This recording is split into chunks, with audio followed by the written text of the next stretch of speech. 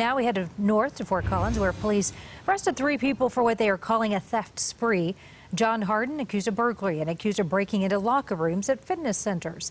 Stolen credit cards were then used at different retailers. Jessica Gotches and Jessica Olson also face charges of identity theft and theft.